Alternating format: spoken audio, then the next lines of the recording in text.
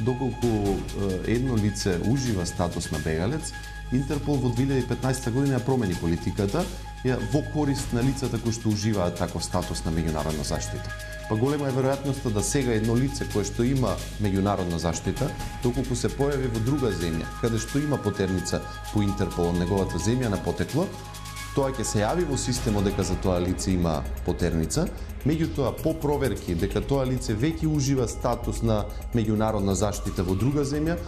многу е голема веројатноста дека лицето ќе биде повторно на слобода, дури и без да се изгласат властите кои што ја издале таа потерница по тоа лице. Но лице ќе добие статус на меѓународна заштита, тогаш државата која што му дала таква заштита, треба да ги прекине сите контакти во однос на тоа лице со државата од која што наводно има прогон.